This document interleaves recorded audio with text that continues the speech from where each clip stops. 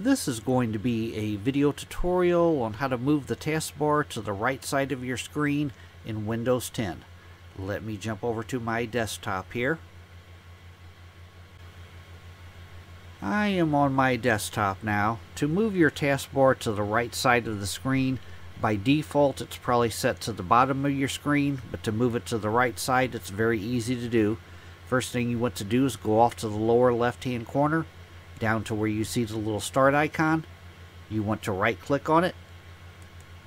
Then you want to go up to where it says settings and click on settings. Now in the little dialog box that opens up here, you want to click on personalization.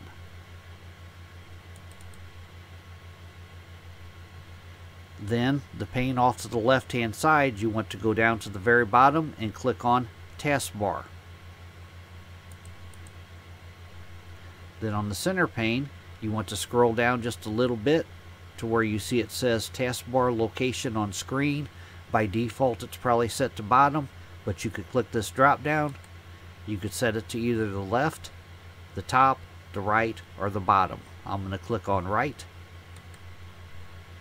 Now as you can see, the taskbar has moved to the right side of the screen.